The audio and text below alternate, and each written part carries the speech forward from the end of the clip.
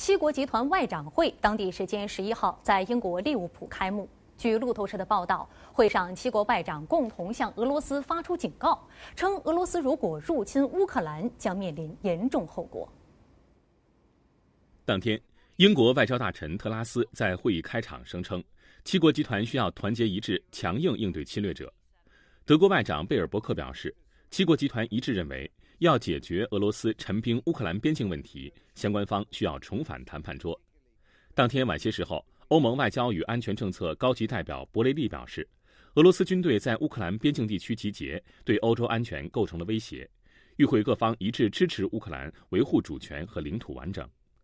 针对俄乌局势，美国总统拜登十一号说，美国从未考虑过向乌克兰派遣地面部队的可能性，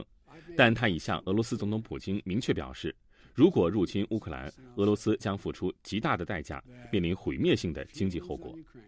此外，乌克兰内务部新闻处十一号表示，美国拨款两千万美元用于加强乌克兰与俄罗斯和白俄罗斯边界的安全，项目将在二零二二年一月开始落实。